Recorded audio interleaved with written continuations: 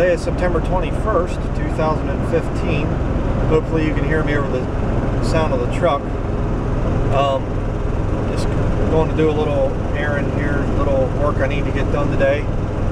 And uh, just wanted to address something that's coming up more and more. I've heard a lot about this.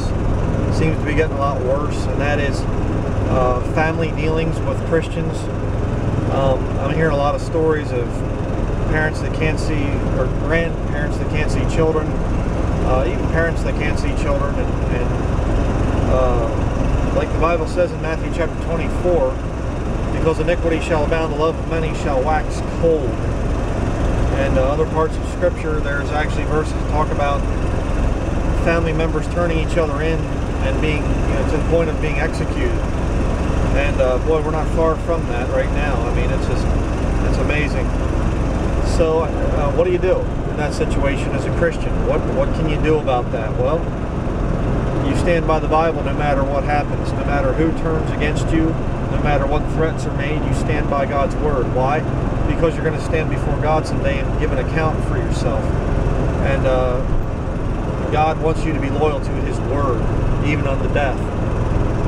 And um, but uh, the question comes up what do I do? I mean, if I have grandchildren and the parents are scum, but the grandchildren are okay, they want to be around me, you know, should I just cut off all contact with the children? Uh, you know, and then thereby cut off contact with the grandchildren?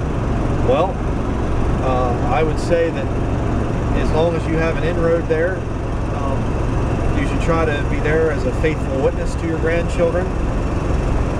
Uh, it's tough. I mean, it's it's really tough. I can relate. I, you know, I've I've had my share of family issues here the last quite a few years. You know, family members turning against me, and and, uh, and you know, it works in reverse too. You know, I I mean, there are family members I don't associate with uh, on both sides, my wife's side and my side as well.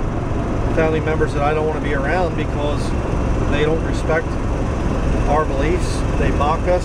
Um, there's really no point in being around them.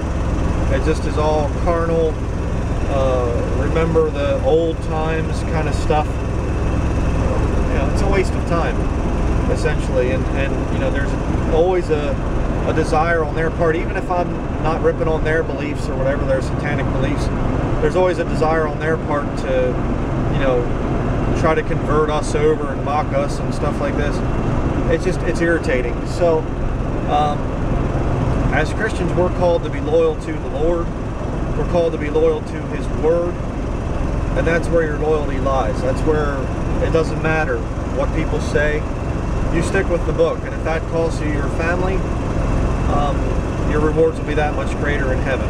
Because uh, when your name is cast out as evil and you're persecuted, and when Jesus came back to His own country, His own town where He grew up, they tried to kill him. They took him up to a cliff and tried to cast him off the cliff and murder him. So uh, you're going to get some of that same treatment as a Christian. Um, that's the way it's supposed to be. Uh, you know, don't ever fall for this thing that um, Christianity is is unity, and if you're if you're a good Christian and you have the love of God and the love of Christ, then everybody's going to like you. Uh, no, quite the opposite. Remember, your Savior was murdered by the world. And uh, things were a whole lot better back then, a lot more moral back then than they, than they are today. So um, if they hated Jesus, they're going to hate you. Uh, stand by the book, brethren. I don't, I don't know how much more time we have left, but it can't be very long now until the Lord uh, catches away His bride. And uh, I just, just want to encourage you to really stand by the Bible no matter what happens, no matter what it costs you. So just going to try to pop into occasional videos now and then. I have a lot of work going right now. A lot of things to get done.